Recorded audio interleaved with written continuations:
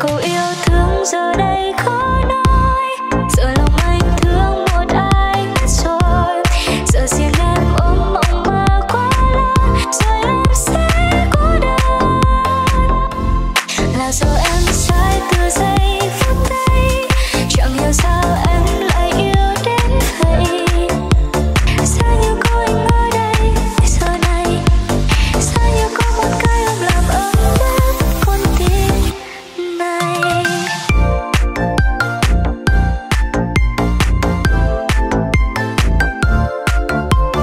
Hãy follow Mai Đỗ Makeup để cập nhật những xu hướng làm đẹp mới nhất các nàng nhé.